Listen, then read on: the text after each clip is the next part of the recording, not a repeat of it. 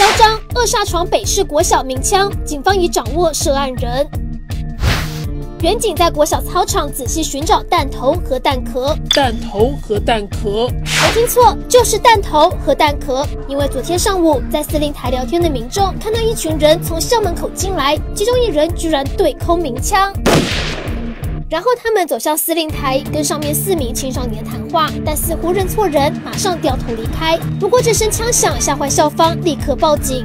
警方到场搜索，没找到弹头与弹壳，初步研判是持道具枪对空鸣枪。调查发现，当时有十一位民众从外县市分别搭车到西园国校，不知道是寻仇或相约谈判，发现不是要找的对象才会一哄而散。已掌握涉案人员，将约谈到案。